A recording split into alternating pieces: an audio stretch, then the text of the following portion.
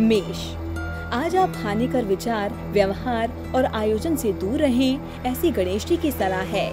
नहीं तो शारीरिक आलस्य एवं व्याकुलता बढ़ेगी, स्वास्थ्य कुछ नरम गरम रहेगा, कार्य सरलता आज मिलेगी।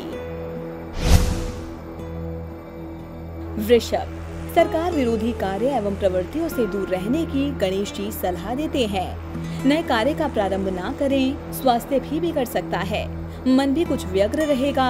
वाणी और वर्तन को एक रखने पर ध्यान दीजिए। मिथुन, आज का दिन सुख शांति पूर्वक बीतेगा। दैनिक कार्यों में ही आज फंसे ना रहिएगा। मन को प्रसन्न और हल्का करने के लिए आप मनोरंजन का आसरा लेंगे आप स्नेही जनों व मित्रों को भी इस आनंद में सहभागी बनाएँगे।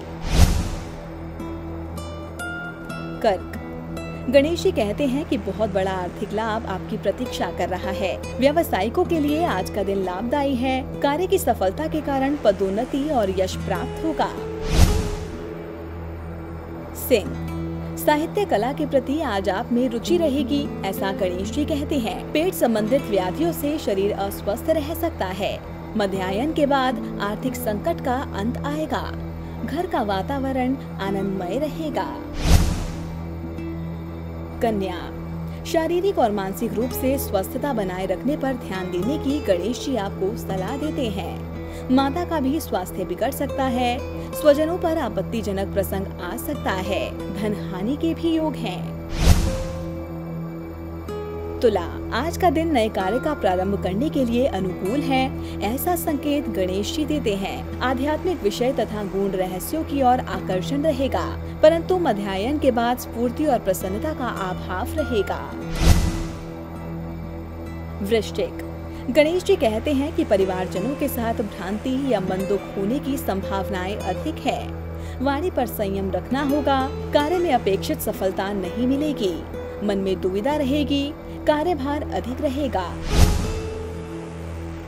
धनु आज के दिन आपको आर्थिक लाभ मिलने के संकेत हैं, ऐसा गणेश जी कहते हैं। किसी स्नेही जन के घर मांगलिक प्रसंग में उपस्थित रहना होगा अथवा तो धार्मिक स्थल पर जाने के भी योग है। दाम्पत्य जीवन में सुख और आनंद मिलेगा। मकर कोर्ट कचहरी में साक्षी न बनने की गणेश जी आपको सलाह देते हैं। मन की व्यग्रता आपके शारीरिक स्वास्थ्य पर कुप्रभाव न डाले इसका ध्यान रखें। वाणी और व्यवहार पर संयम बरतें। कुंभ। आज का दिन लाभदायी है ऐसा गणेश जी कहते हैं। सामाजिक और आर्थिक क्षेत्र में आप प्रगति करेंगे। अपरिचित पात्रों के लिए परिणाम के योग हैं, परंतु मध्यायन के बाद स्वास्थ्य कुछ बिगड़ेगा। मीन। आपके विचारों में आज दृढ़ता अधिक नहीं होगी, ऐसा गणेश जी कहते हैं। व्यवसाय में उच्च अधिकारियों से लाभ होगा, पदोन्नति के योग हैं। व्यापार संबंधी आयोजन हो पाएगा, परिवार में सुख शांति रहेगी।